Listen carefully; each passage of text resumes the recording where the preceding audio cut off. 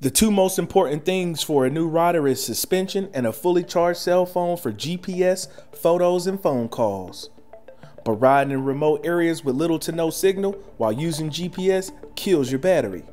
And that battery drain is worse when using the camera to get photos of your beautiful machine and sublime scenery. Now, as riders, we all know that tire pressure plays a critical role in suspension. It only takes 1 to 2 psi to drastically change the feel and steering response of modern motorcycles. Now, there are many solutions to these two problems, such as traditional bike pumps, floor pumps, gas station pumps, and many different types of external battery packs. But as riders, we don't want to spend extra time on a pre ride setup, we just want to ride. We also hate having to carry extra gear because lighter is faster and faster is better. Lighter is also less fatigue on the back, and that's even better. Many of us have a bike as our only vehicle because we don't want to use two tools just to get one job done. The same is true when it comes to the tools we use to get us on the road and stay on the road as a rider. Why have multiple tools to do multiple jobs if there is a solution to do many things with only one thing? Isn't that why we love our smartphones? In a world where riders crash from too much or too little tire pressure, don't you want a tool that makes this step of the pre ride inspection easier, faster, better, quicker? See my suspension video to see how PSI affects ride quality and suspension. When you have a low PSI that leads to a flat tire with a dead phone in a remote area, it makes you question why you decided to ride at all. And these are not exaggerations, as I have experienced both of them at the same time during my first month of riding. That's why this Lexin P5 Smart Pump is a game changer for riders. It's a pump, a power bank, a flashlight, all in one compact device. It has a maximum pressure of 150 psi. It can easily inflate tires even in remote areas where there's no access to a gas station pump. Plus, with this built-in power bank, you can top off your phone or any other device that you use on the go. And to top it off, the P5 also has a flashlight, making it a useful tool in case of emergencies on the road. I think that this pump lets you hit the road with confidence. And that's why I was excited to try the Lexin P5 Smart Pump. In my opinion, it's one of the best solutions for riders who prioritize convenience, speed, and accuracy. Unlike traditional bike pumps that require manual pumping, guesswork, and 100 tricep reps, the Lexin P5 is equipped with advanced technology. It automatically detects and adjusts tire pressure with precision and ease. The only downside to that is it doesn't let pressure out. You'll have to do that manually. At first, I took my bike to the gas station because I thought I could dial in the perfect PSI and it was free, but the pump wouldn't fit due to the massive brake rotors on my R7. Not to mention, because this is a dual rotor setup, there is no one side that makes attaching the pump valve easier. So then I tried my mountain bike pump, but the gauge was super inaccurate. So I then pumped up my bike with a mountain bike pump and checked tire pressure with a second gauge. This was a little bit better, but it was still cumbersome. And so I would skip this pre ride inspection part a lot more than I care to admit. But as of today, I've elevated my game to a whole new level of flex with this Lexin. So, I guess the point I'm making is the P5 pump has it all. The Lexin is way easier to use than other solutions. The braided hose is nicely constructed and it has a freely rotated mounting point to attach to the valve. I like the fact they didn't go cheap with a rubber hose.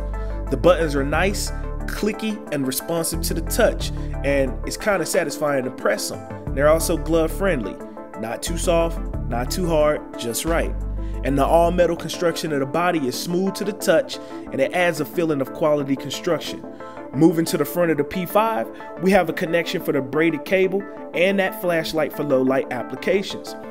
Peeling back that rubber flap with this lightning symbol reveals a USB-C port, that's how you charge the P5, and a USB-A port, that's how you use the massive 5000 milliamp battery to power other devices like your iPhone or your Android.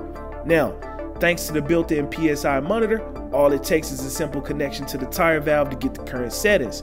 And if they're off by a few pressure points, all you have to do is set it to a desired PSI and let the pump do its thing. Charging the device is super easy. And what I love the most is if you want to ride, you no longer have to choose between charging your phone and hitting the road or just hitting the road with a dead phone. All you have to do is throw it in the included bag while it's connected to your device. You get to ride and charge at the same time. And then when you're not using the pump, just throw it in the included bag.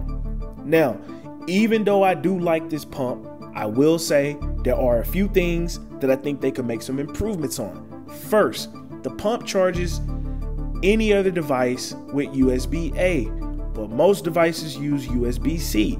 So in this case, I have to hunt down an old USB charging cable or buy a new one. That is, if I can even walk into a store and find one. So, they should either allow the USB C port to charge the device as well, or add a second USB C port for charging newer devices. Second, the screen could be brighter for use in direct sunlight. This could easily be achieved by either brightening up the screen that they're using, switching to an e-ink display, or a simple G-Shock style black and white LCD. Now my third is a nitpick, but if they could make it slimmer and lighter, I think that'd be nicer. Don't get me wrong, the P5 is still nice in its current profile. I just think in 500 grams, a little slimmer and a little lighter would be a lot better and a lot sleeker. Now, last but not least, I wish they would make the flashlight accessible without having to turn on the pump. If I could just simply press the button to turn on the flashlight without having to turn on the pump, it'll make things even more convenient, especially for riders who backpack with their bikes or camp overnight. I think this is one accessory everybody should have, even if they don't ride bikes. And honestly, at only $69.95, in my opinion, it's a steal. This is how I look at it. You can easily find a 5,000 milliamp power bank for about 40 to 50 US dollars. When you pair that with getting a solid pump, a flashlight, and a tire pressure monitor, I think this price is more than fair. Now, a good bike floor pump can easily sell for 20 to 50 dollars depending on the quality and it will only read PSI not all three measurements like the Lexin but let's be honest even if you bought a floor pump for cheap are you really gonna carry a floor pump with you in your backpack while you ride motorcycles? No, of course not. No.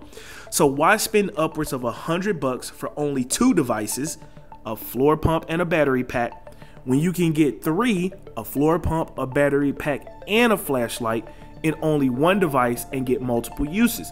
Plus, you can carry it with you. And honestly, this is just low key fun to use.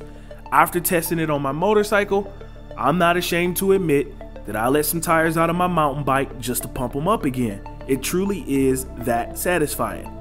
If I could have a tool that not only works, but improves my ride quality and makes my dreaded pre ride check actually fun, then sign me up, coach. I want to play all day. So, bottom line, I think this is a good device. I think you should get one. Check it out. Links are in the description.